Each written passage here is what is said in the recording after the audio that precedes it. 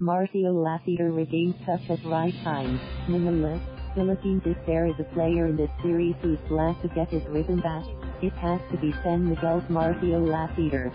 The Beermen's reliable wingman was flat the first four games of the series before turning things around in games 5 and 6 just in time for the PBA Philippine Cup finale against Magnolia. Lassiter averaged just 6.8 points through games 1 to 4 down found his groove in games 5 and 6 where he averaged 20 points per outing. The 31, year-old, Lassiter played a vital role in Game 6 as San Miguel evened the series and forced a deciding seventh game on Wednesday, keeping the Beermen's bid for a fifth straight Philippine Cup alive. It was falling tonight. I was kind of mixing it up, going inside and cutting, said Lassiter after the Beermen's 98 to 86 win Saturday at Smart Araneta Coliseum. Coach left square bracket Leo Austria right square bracket was telling me to attack more, and I was fortunate to get my first three votes in.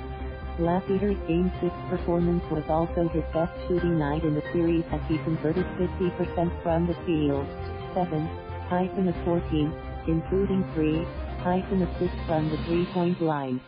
Making Lassiter's job lighter was the mere presence of five-time MVP June Fajardo who constantly demanded double teams that opened his teammates from the perimeter.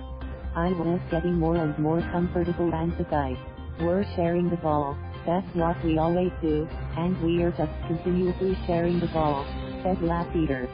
The main focus is June and I just want to be there when they double, just to give more opportunity for him to work in the post and space the floor. Lassiter added that San Miguel has to be mentally ready come Game 7 even if it has more experience playing in do-or-die situations. In the past five years under Leo, Austria, the Beermen have played in two finals Game 7 seconds and won. We've been in Game 7 seconds before, and we'll definitely bank on our experience to carry us, said Lassiter. At the same time we know it's not going to be easy because both teams want to really win this game, and we know it's going to be a grind out game. From this point we have to mentally prepare ourselves. We know it's going to be a tough battle, so we just have to come out there and stay focused, stay locked in. Thank you for watching. Please subscribe.